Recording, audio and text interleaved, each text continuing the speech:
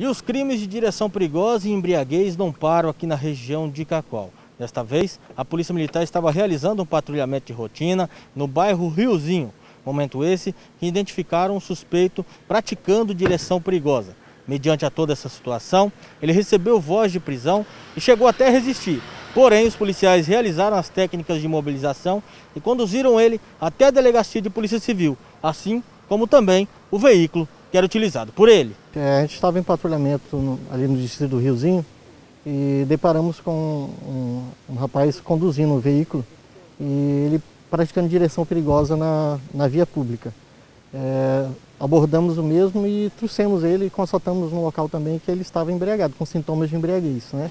Estava com os olhos vermelhos, alterados, odor de, de álcool.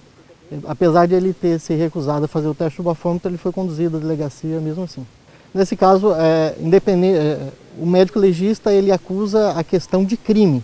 A questão administrativa, que seria as notificações de trânsito, é, elas são efetuadas mesmo assim, independente do médico legista constatar ou não é, o, o, desequilíbrio, né, que seria, na verdade, o médico legista ele atesta é, os sintomas psicomotoro, né?